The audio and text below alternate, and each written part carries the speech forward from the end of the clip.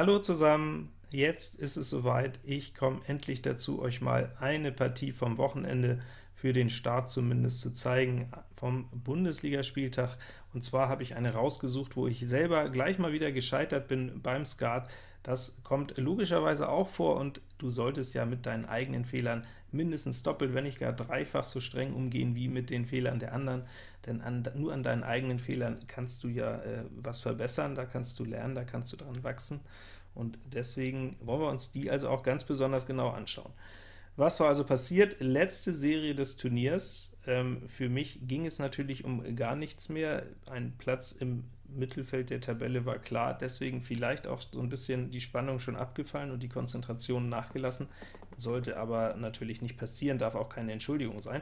Auf jeden Fall ein hochkarätiger Tisch. In Mittelhand Eddie Severovic von Euroscar Treuchtling, kämpft zu dem Zeitpunkt noch um den Bundesligatitel.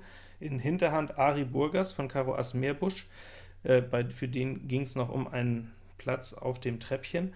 Also erstens zwei Top-Spieler am Tisch, Dafür spiele ich, sage ich mal, Skat, dass solche Konstellationen zustande kommen. Und es ging natürlich auch noch für alle um was. Jetzt also das erste Spiel, bei 18 spielt Eddie in Mittelhand Kreuz. Das ist meine Gegenkarte. Mit meinen zwei Trümpfen habe ich das Spiel logischerweise jetzt aus der Viererlänge eröffnet. Karo Lusche eine ganz übliche und solide Spieleröffnung hat Eddie aber gleich vor gewisse Schwierigkeiten gestellt, also war für ihn keine günstige Eröffnung, das merkte man gleich, er hat lange überlegt, dann schließlich wurde die Pik 9 abgetragen, und Ari hat logischerweise das Karo Ass rausgenommen, ist jetzt selber aber auch dann erstmal ins Büro gegangen, kleinen Moment nachgedacht, und dann kam von Ari die Pik 7 auf den Tisch. Nun war ich natürlich dran, kann mich entscheiden, Pik 8 oder Pik 10. Pik 10 wäre jetzt vielleicht doch ein wenig äh, zu verwegen, ähm, doch wohl eher zu vermuten, dass Eddie das Ass hat, als dass Ari jetzt auch noch äh, das Pik Ass hat und da unter ausspielt. Also Pik 8, denke ich, jetzt hier die korrekte Karte, und Eddie hat wie erwartet jetzt das Pik Ass und hat es auch rausgenommen.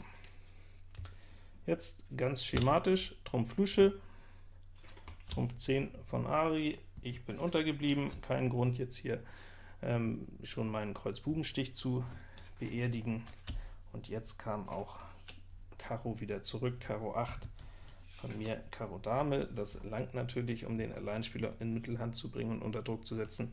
Der hat entsprechend auch mit dem Trumpf Ass jetzt zugeschnappt.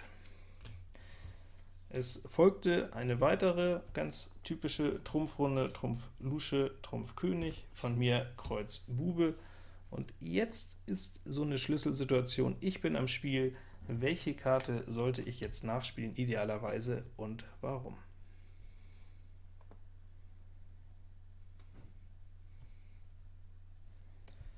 Ja, interessanterweise gibt es jetzt nur eine Karte, die uns den Sieg garantiert, und das ist tatsächlich die Pik 10. Um darauf zu kommen, musst du jetzt aber wirklich schon erkannt haben, dass Pik Lusche im zweiten Stich blank war, dass Pik Dame und König gedrückt sind. Ähm, gut, wenn die nicht gedrückt sind, wenn sie äh, bei Eddie in der Hand sind, umso besser, aber das ist auch nicht zu vermuten nach dem zweiten Stich. Und ja, das ist vielleicht äh, eine Überlegung, da kann ich gleich nochmal zeigen, wie man darauf hätte kommen können. Ich habe mir nur so ganz äh, schematisch gedacht, warum zieht Eddie nicht in Herz, Ass und 10 seinen Doppelläufer hin, wenn er hier etwa nur einen 5-Trümpfer hat?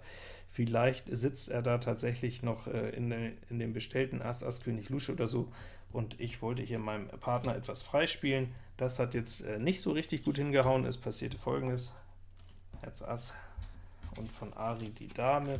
Jetzt, wo Eddie die nächsten beiden Trümpfe eliminiert hatte, hat er auch äh, Herz 10 hingezogen kriegt also hier den Doppelläufer. Und warum hat er den nicht direkt gezogen? Weil er jetzt eben erst auf 60 steht und noch einen weiteren Stich braucht. Den hat er jetzt mit der Herz Lusche, und Ari stand eben noch auf den der schönen Trumpfgabel Pik und Karo Bube gegen den bestellten Herz Buben, muss jetzt aber natürlich noch einmal abschmeißen, Karo König, Karo Lusche, und Eddie hat das Spiel mit 64 Augen gewonnen. Ich verteile noch mal einmal die Karten, jetzt ganz offen, in die komplette Verteilung, dann können wir uns das noch mal im Detail anschauen.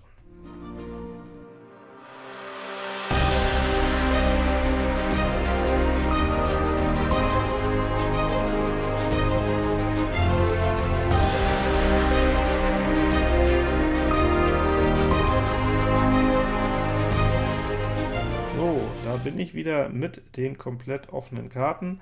Das waren also Eddies 12 Karten. Er hat sowohl in Kreuz als auch in Pik jeweils 4 und dazu Herz Ass 10 Lusche, also eine Konstellation, die einfach jetzt nicht so typisch ist. Und das, denke ich, ist auch der Grund, warum sowohl Eddie übrigens als auch mir hier ein äh, nicht so sauberer Zug äh, unterlaufen ist. Gut, Pik Dame und König drücken, das ist, denke ich, plausibel. Das ist gut nachvollziehbar. Und jetzt das Kreuzspiel machen mit sieben Augen im Keller. Klar, kann ja günstig laufen, ähm, wenn der Doppelläufer in Herz kommt. Vielleicht ist Pik 10 blank, vielleicht kann ordentlich was gestochen werden. Aber die Schwäche ist natürlich, dass es nur 5 Trumpf in Mittelhand sind, ohne eine Trumpfstärke, und dass auch kein Stück Karo gedrückt ist, und entsprechend ist die Karo Lusche natürlich eine unangenehme Karte, denn das ist klar, dass darauf auch äh, weder in diesem Stich noch im nächsten groß was zu erwarten ist, wenn der also jetzt gestochen wird. Deswegen hier nach langer Überlegung Abwurf Pik Lusche. Ari hat Pik Ass rausgenommen, hat jetzt selber überlegt, wie er das Spiel fortsetzen soll. Er hat 4 Trumpf hier dagegen mit zwei Buben und der Trumpf 10 bestellt, hat sich jetzt entschlossen, weil Karo zurück eben auch noch nicht so richtig gut ist, da er noch zwei Karos hat, erstmal jetzt den blanken Pik zu spielen, denn es ist unwahrscheinlich, dass das die starke Farbe von Eddie ist, wo der da die Lusche abgetragen hat.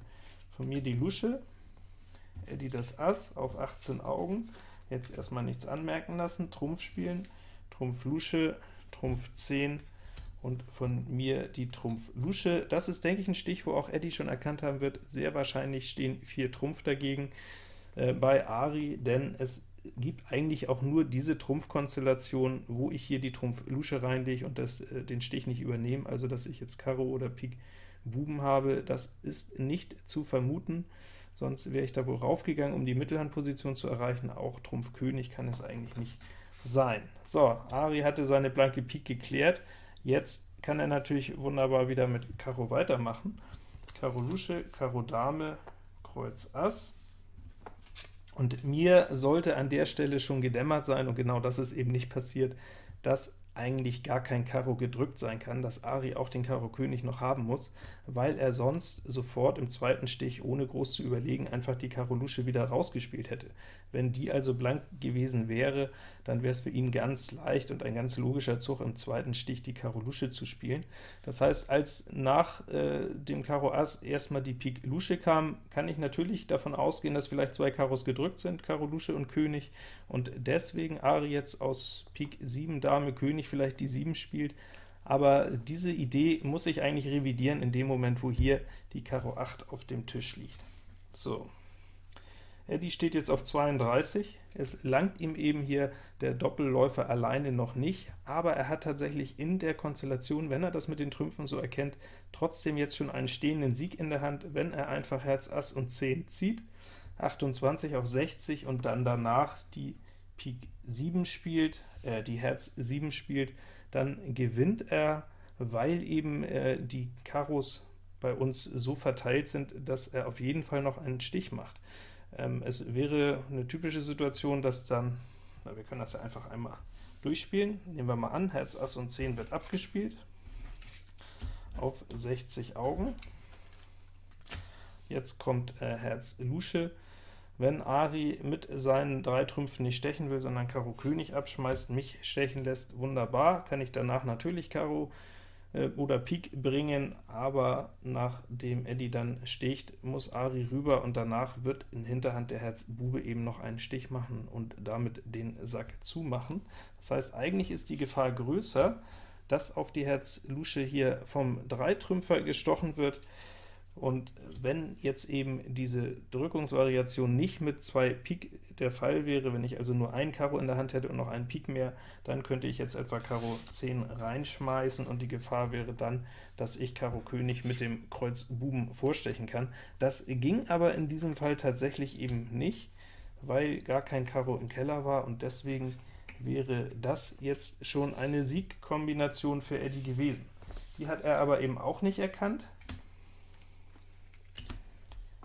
sondern hat noch einmal Trumpf gespielt, Trumpf Lusche, Trumpf König, von mir der Kreuz Bube, ja, und jetzt muss ich dann tatsächlich drauf kommen. Jetzt habe ich aber auch an sich, wenn ich es selber hier so nochmal durchanalysiere, alle Bausteine zusammen, um das Spiel zu erkennen, um die Drückung zu erkennen, und dann kann jetzt natürlich Pik 10 folgen, Pik 10 gestochen, und damit wäre das Spiel erledigt gewesen. Ari hätte ganz sicher sofort den letzten Trumpf abgezogen, dann darf ich an der Stelle natürlich auch noch nicht den Karo König wimmeln, äh, die Karo 10 wimmeln, beziehungsweise dann geht das Spiel auf 60 aus, aber wir können dann natürlich noch mehr machen, wenn ich erkenne, hier ist jetzt gerade der Trumpfabzug zugange, dann kann ich hier sogar Herz abwerfen.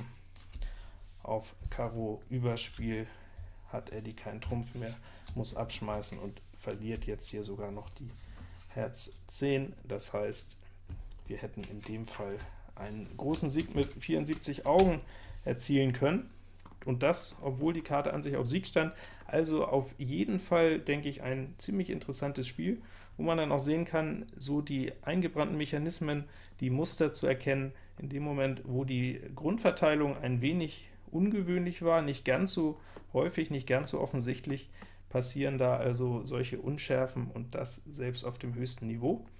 Also für mich auf jeden Fall in der nachträglichen Analyse ganz klar, dass äh, ich da einen Bock geschossen habe. Am Tisch habe ich noch abgestritten, dass ich auf die Pik 10 kommen kann. Da habe ich gesagt, eher würde ich noch die Karo 10 spielen, aber das ist einfach in der nachträglichen Analyse nicht zu äh, aufrechtzuerhalten, diese Argumentation.